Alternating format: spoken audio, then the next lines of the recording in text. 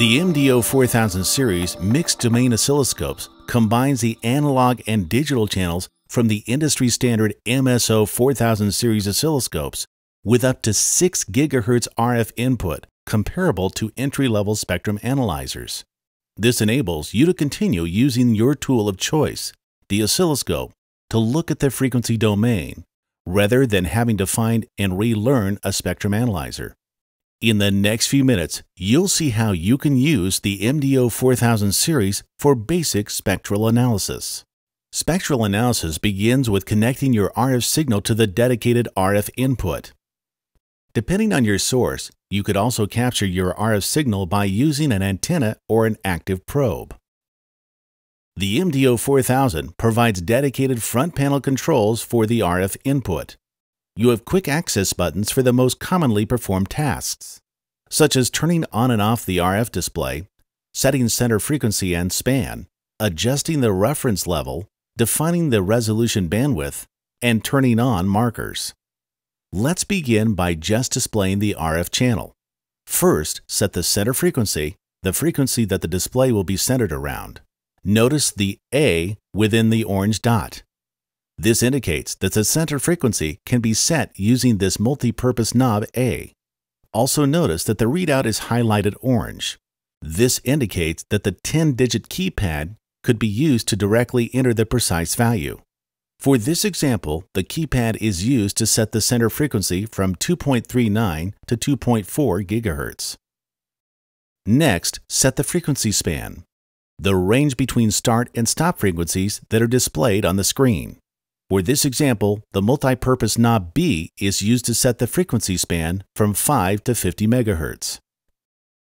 Next, set the resolution bandwidth, often abbreviated as RBW.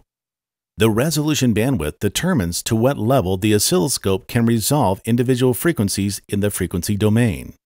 For example, if your RF signal contains two carriers separated by 1 MHz, you will not be able to discriminate between them unless the RBW is less than 1 MHz. Why not always set the most narrow resolution bandwidth? Because it takes longer to process. So the trade-off is time.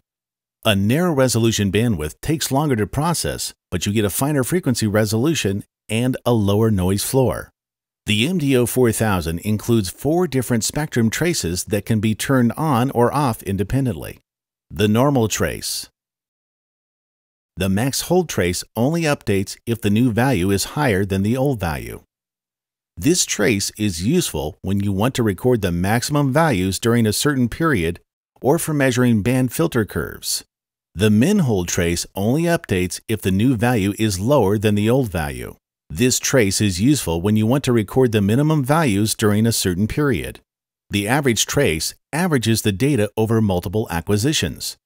This trace is useful doing measurements on a noisy source. For spectral analysis of slowly changing RF phenomena, use spectrogram. The spectrogram is like time trend view of amplitude versus time. Color is used to indicate magnitude of peaks relative to each other. Cold colors such as blue and green indicate low amplitude. Hot colors like red and yellow indicate high amplitude. Notice how faint signals are easily seen in the spectrogram. You can view how the spectrum changed over time by looking back in time through the spectrogram using the spectrum slice control, which has been assigned to the A multipurpose knob. With the MDO 4000 series, you have a tool packed with features for seeing and analyzing your RF spectrum fast and efficiently.